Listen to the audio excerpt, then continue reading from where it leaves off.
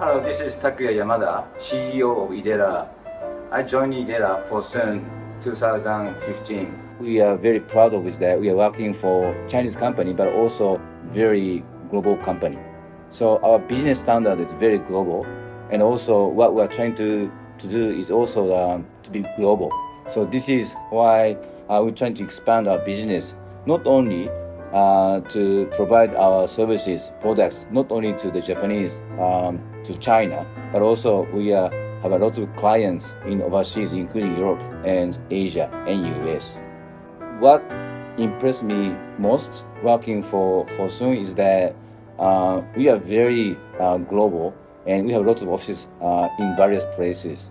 But once we have a goal, um, no matter where you work, uh, whether you are in Shanghai or in Tokyo or in London, uh, we set up a team to achieve certain goal.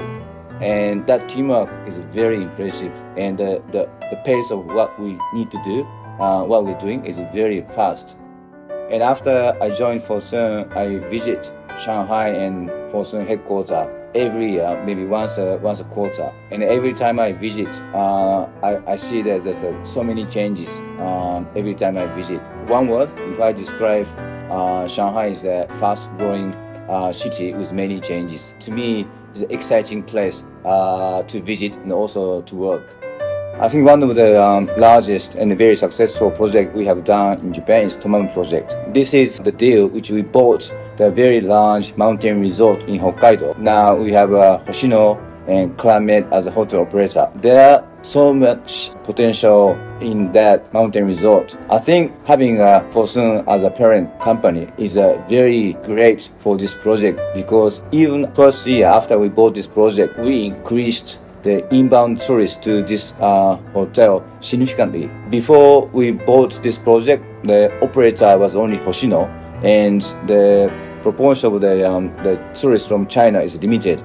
But now, if you look at winter and summer, the, we have about 70 to 80 percent uh, guests are coming from overseas. More than half of the uh, tourists coming from the mainland China.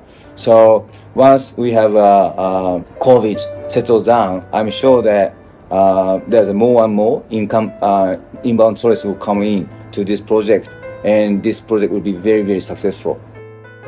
Um, I know uh, there are some issues in last 50 years, uh, some upside down between Japan and China, but I think we as a private company to provide services to uh, people in Japan, uh, people in China, that actually creates better relationship between Japan and China as a whole. So our mission and responsibility is to make sure that we have a best services and products to uh, Japanese and also Chinese and introduce the uh, best of the product from China to Japan and same thing uh, introduce the uh, very good products in Japan to Chinese people that will help the, um, the relationship uh, between Japan and China.